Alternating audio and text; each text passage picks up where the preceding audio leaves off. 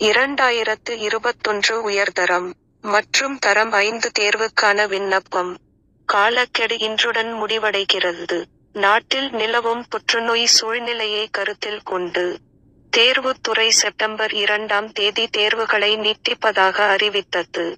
அதன்படி இரண்டாயிரத்து இருபத்தொன்றாம் ஆண்டு கபஓதா அனைத்து விண்ணப்பங்களும் ஆன்லைன் அடிப்படையிலான முறைக்கு மட்டுமே அழைக்கப்படும் என்று தேர்வுத்துறை தெரிவித்துள்ளது. ஆன்லைனில் விண்ணப்பிக்க விண்ணப்பதாரர்கள் தேர்வுத்துறையின் அதிகாரப்பூர்வ இணையதளமான W W W dot doughnuts dot LK அல்லது திணைக்களத்தின் அதிகாரப்பூர்வ மொபைல் செயலி டோ ஐ பார்வையிடவும் மற்றும் தொடர்புடைய வழிமுறைகளை கவனமாக படித்து அதன்படி ஆன்லைனில் விண்ணப்பத்தை சமர்ப்பிக்கவும். சம்பந்தப்பட்ட பள்ளிகளின் முதல்வர்களுக்கு ஏற்கனவே கொடுக்கப்பட்டுள்ள பயனர் பெயர்கள் மற்றும் கடவுச்சொற்களை பயன்படுத்தி அரசு பள்ளி மாணவர்கள் மேற்கண்ட தேர்வுக்கு விண்ணப்பிக்க வேண்டும். தன்பட்டாரர்கள் சம்பந்தப்பட்ட அறிவுறுத்தல்களின்படி விண்ணப்ப படிவத்தை நேரில் பூர்த்தி செய்ய வேண்டும்.